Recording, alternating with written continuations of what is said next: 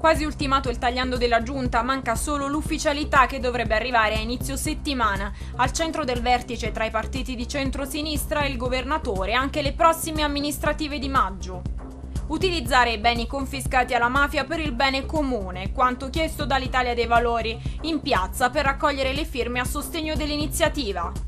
Prosegue la battaglia della Corea e del Comitato di Difesa Pubblica della Salute in Molise contro l'eolico selvaggio in regione. A Porto Cannone un incontro sul tema.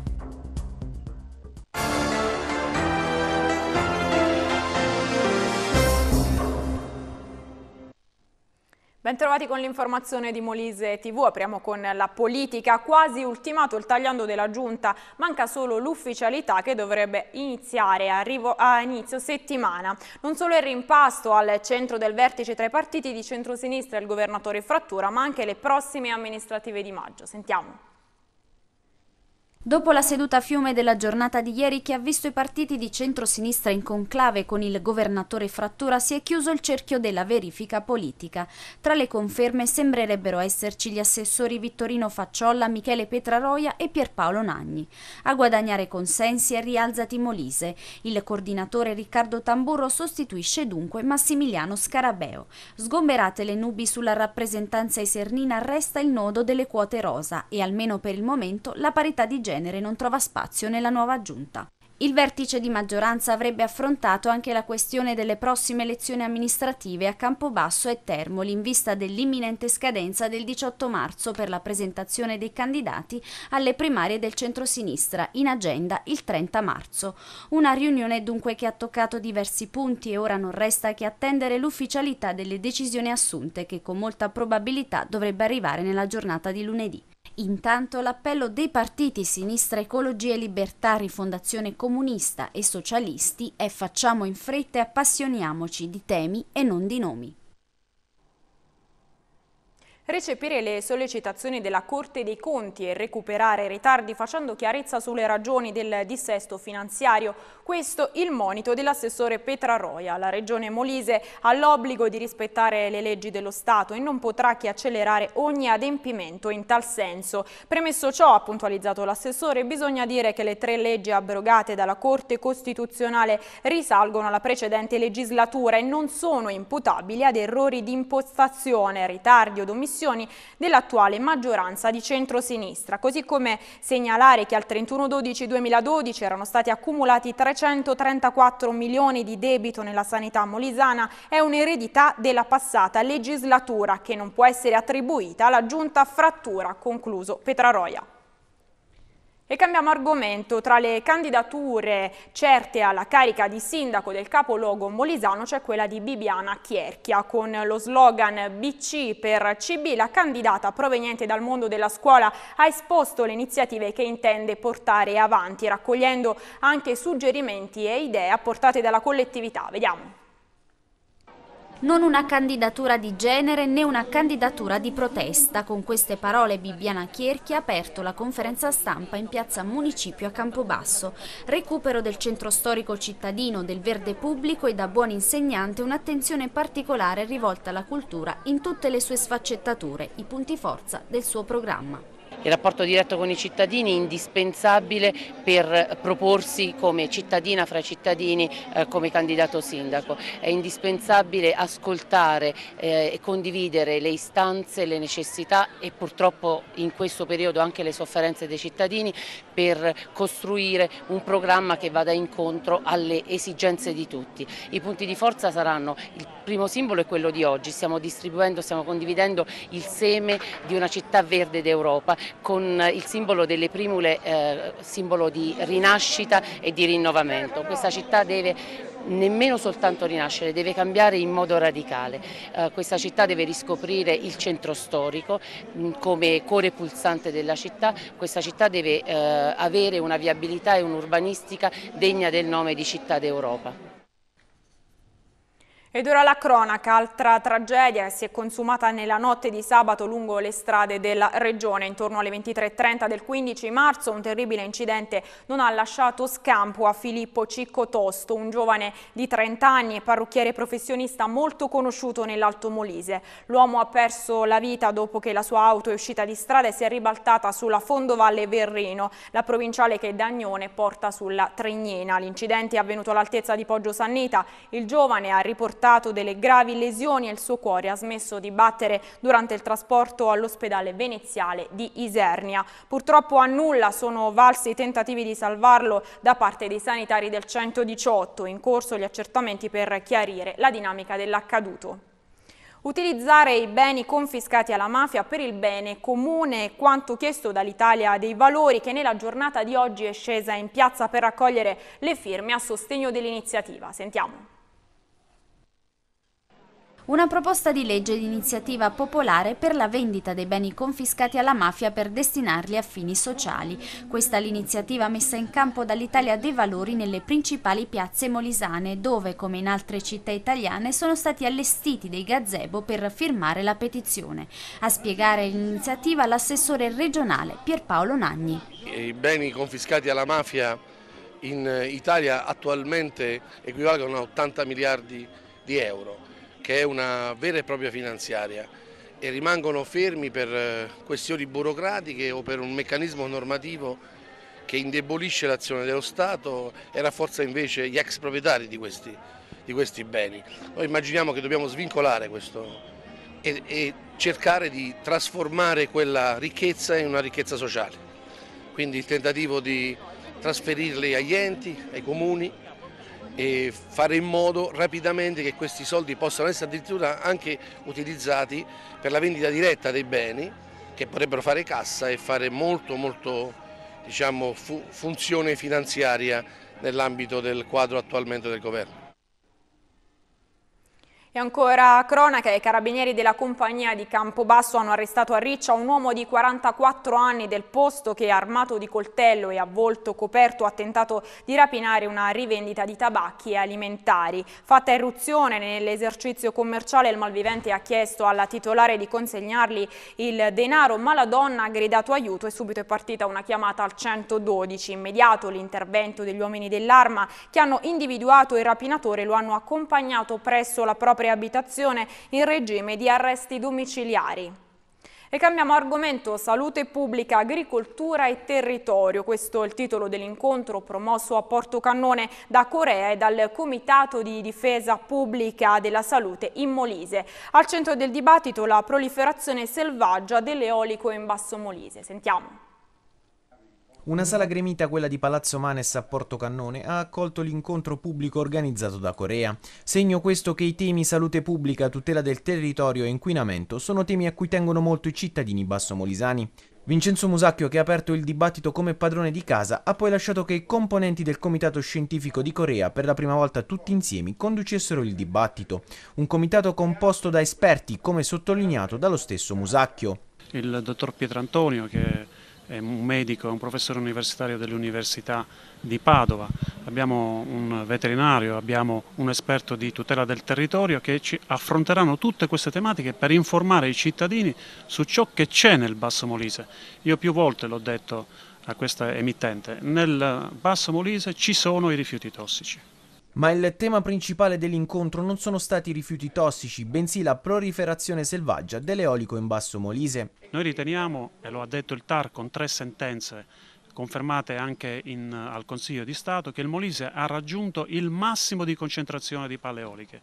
Oltre non si può andare, non possiamo ancora continuare a deturpare questo territorio, questo Molise che dobbiamo tutelare in ogni modo possibile. Dunque chiara la posizione di Corea che si oppone con un secco no alla creazione di nuovi impianti eolici in Basso Molise, in particolare nei comuni di Montecilfone e Campomarino, dove la regione Molise ha dato l'ok per la costruzione di due nuovi parchi, ma i comitati hanno idee chiare e precise, se non si troverà un compromesso si rivolgeranno al TAR. Ci occupiamo ora di trasporti. Il segretario generale della FILT Molise, Giorgio Simonetti, ha inviato una nota all'assessore Pierpaolo Nagni per chiedere un incontro urgente in ordine alle insistenti voci di separazione dell'azienda Sati e ATM SPA. L'incontro, si legge nella nota stampa, è fondamentale per valutare possibili ricandidature negative sui livelli occupazionali delle due aziende in caso di scissione delle stesse. La FILT CGL Molise auspica, nel caso in cui dette indiscrezioni indiscrezioni fossero confermate che le possibili soluzioni passino attraverso trasferimenti di personale che abbiano come criterio prioritario il volontariato consenso dei dipendenti. Il 15 marzo 1944 il comune di Venafro venne bombardato per un grosso sbaglio da parte di truppe anglo-americane con lo scopo di abbattere la città di Cassino nel Frosinate. Due corone di fiori sono state depositate per ricordare quel triste giorno. Sentiamo Olivia Garofalo. Ricorre quest'anno il settantesimo anniversario del bombardamento di Venafro avvenuto il 15 marzo 1944. L'evento ebbe luogo per un gravissimo sbaglio dei bombardieri alleati, i quali scambiarono Venafro per la vicina Cassino, dove erano diretti per stanare la resistenza nazista e scaricarono sull'intera popolazione bombe esplosive. Centinaia furono le vittime e tanta la distruzione dell'abitato urbano. Per commemorare questo triste giorno, la cittadina di Venafro ha inteso promuovere delle manifestazioni a partire dalle ore 10 di mattina con la celebrazione della Santa Messa. A seguito un lungo corteo è partito per deporre una corona di fiori alla sede del municipio per poi concludere i festeggiamenti con la seconda deposizione della corona di fiori innanzi ai piedi del monumento ai caduti, dove autorità civili, militari, religiosi e cittadini si sono radunati in piazza per assistere al discorso discorso finale del sindaco Sorbo. Una tragedia immane di cui Venafro continua a portare profonde ferite e che solo qualche anno dopo la Repubblica Italiana ha ufficialmente riconosciuto assegnando alla città la medaglia d'oro per l'enorme sacrificio patito. Nel 2005 Venafro ha avuto questo prestigioso riconoscimento, oggi coronato dal, dalla concessione dell'alto patronato del Presidente della Repubblica a queste nostre iniziative che servono per celebrare per commemorare quel tragico evento. Quindi per noi che abbiamo organizzato eh, questa, eh, questa, manifestazione una, una grande soddisfazione, ma penso che sia una grande soddisfazione per l'intera città di Vinafro e per il Molise. Come annunciato ieri ha riaperto i battenti per il fine settimana l'impianto di Monte Capraro, una buona notizia per tutti gli appassionati di sci che mitiga in parte la delusione per l'annullamento delle finali della Continental Cup. Sentiamo. Grazie alle nevicate della scorsa settimana l'impianto di Monte Capraro a Capracotta ha riaperto i battenti da questo fine settimana.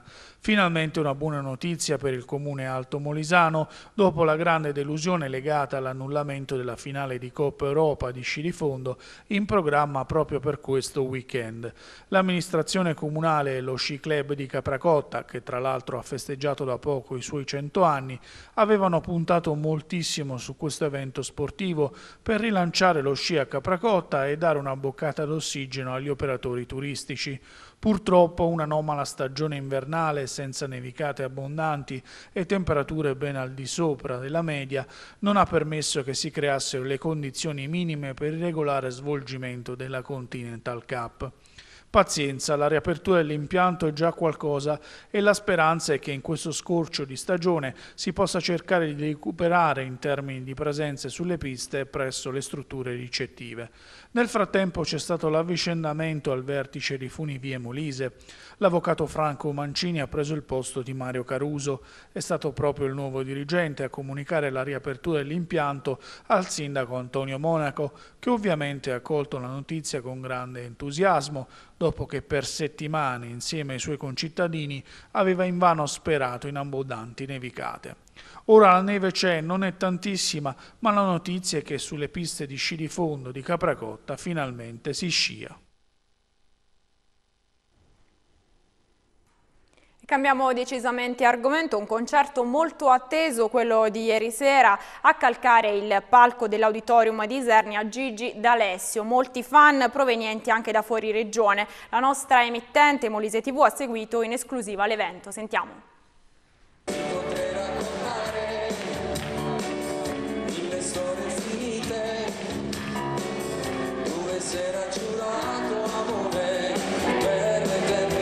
Evento musicale straordinario a Esernia, presso l'Auditorium Unità d'Italia del concerto tanto atteso di Gigi D'Alessio, che ha aperto proprio Esernia il suo tour, denominato Ora Tour, e che porterà in giro per tutta Italia.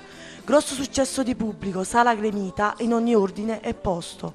Noi di Molise TV abbiamo seguito in diretta e in esclusiva il concerto e lo abbiamo intervistato. Gigi D'Alessio, cantante napoletano di fama nazionale e internazionale, come mai proprio qui a Esernia hai scelto di fare il tour, Ora Tour?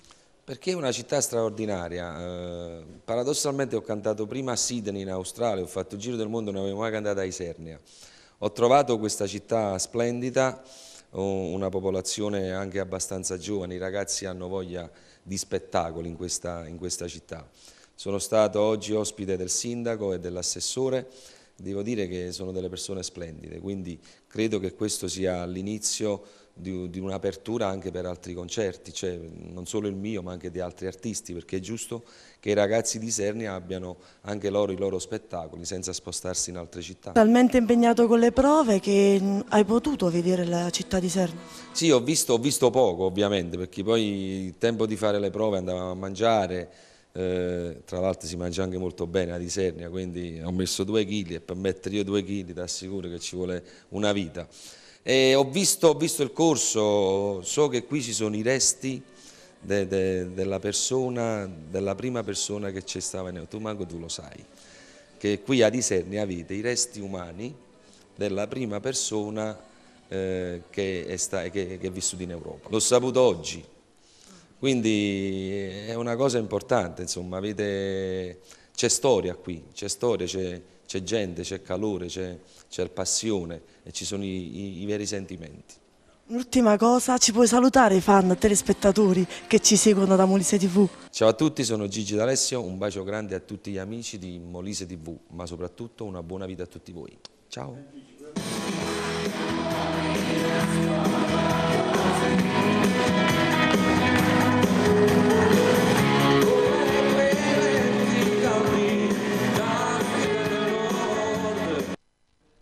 E questo era il nostro ultimo servizio. Vi lascio alle previsioni del tempo. Grazie per aver scelto l'informazione di Molise TV.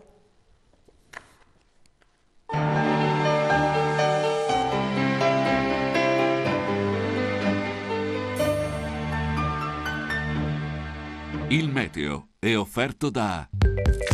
Burger Prince Fast Food vi aspetta nella zona industriale di Campobasso, adiacente al Cinema Maestoso.